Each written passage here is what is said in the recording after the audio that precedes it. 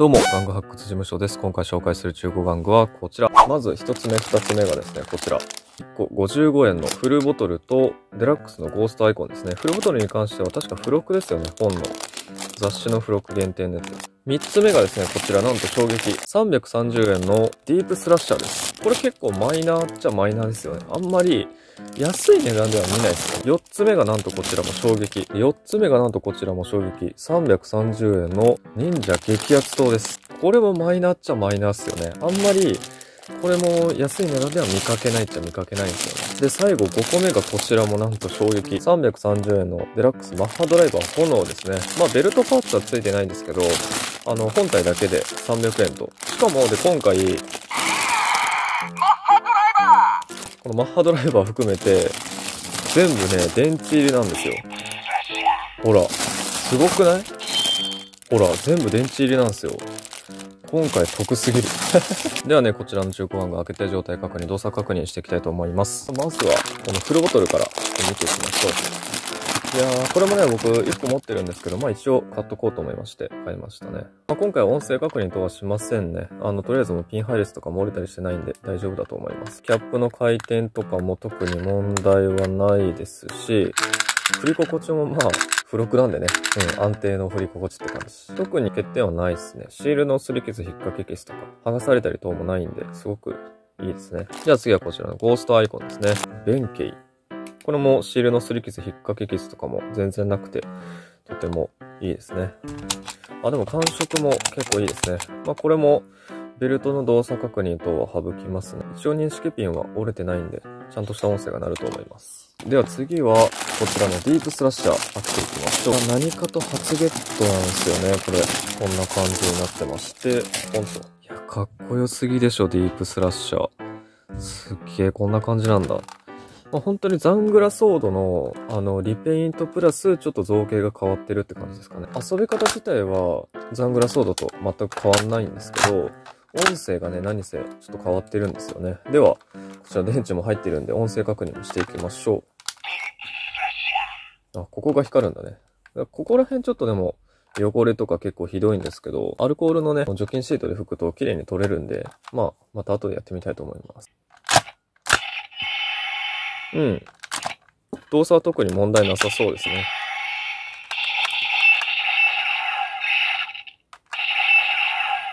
剣撃音は1種類。で、その他動作も特に問題はなさそうですね。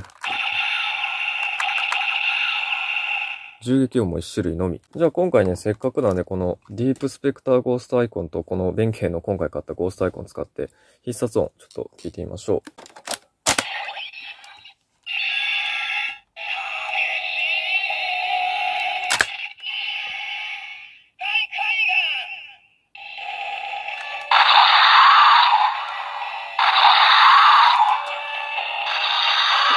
本体の音声はちょっと小さいんですね。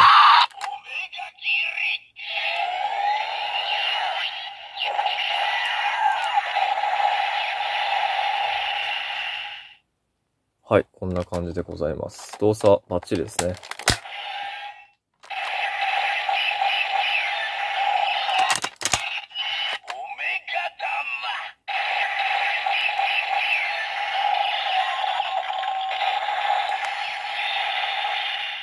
うん、非常にかっこいい。次はこちらの忍者激アツと見ていきましょう。これもね、初ゲットで何気に嬉しいですね。持ってなかったですよね。箱付きではね、たまに見るんですけど、さすがに本体だけってのはあんまり見なかったんで、これは良かったですね。全然色違うな。こんな感じなんだ。すごいわ。本当に、忍者一番刀のリペイントって感じですね。まあ、全体的に状態は結構使用感ありって感じの見た目で、まあ、普通の中古品って感じですかね。シールの擦り傷、引っ掛け傷とか、まあまあまあ、そんなに激しくないですね。では、こちら、電池も入りっぱなしなんで、音声確認もしていきましょう。うん、ここが発光しますね。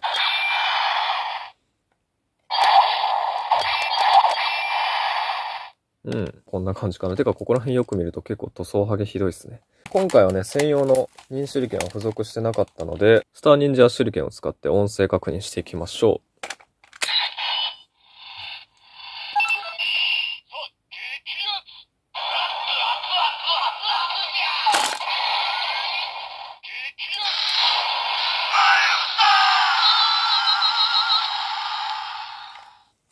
はい、こんな感じですかね。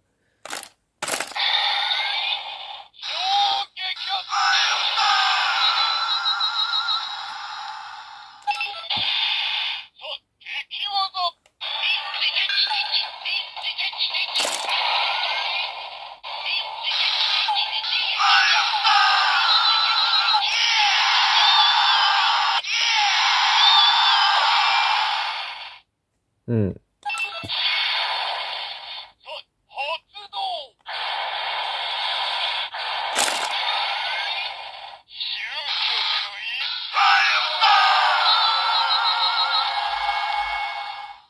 あ、終局一戦ってなんかかっこいいな、音声。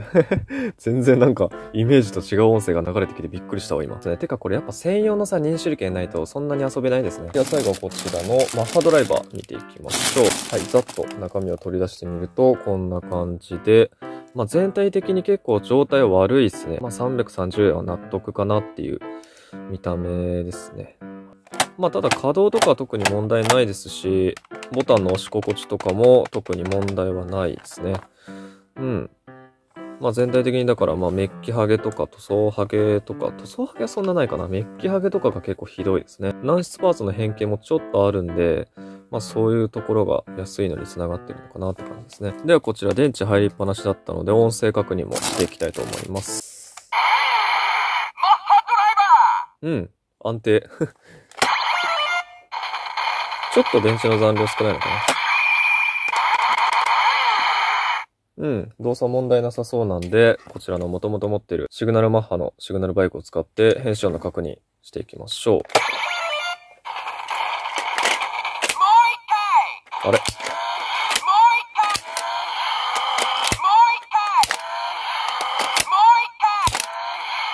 もしかして認識おかしい系？あ、いけた。早すぎたのかな入れるのが。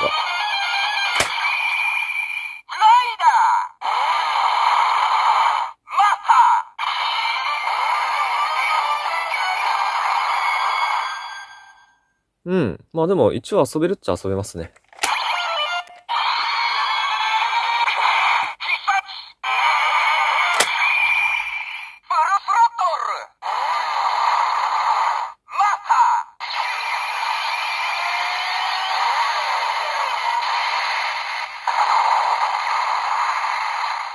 はい、発行も特に問題ないですし、必殺技も問題なくできますね。OK。はい、今回紹介したのはこちらの中古玩具でした。では、次の動画まで。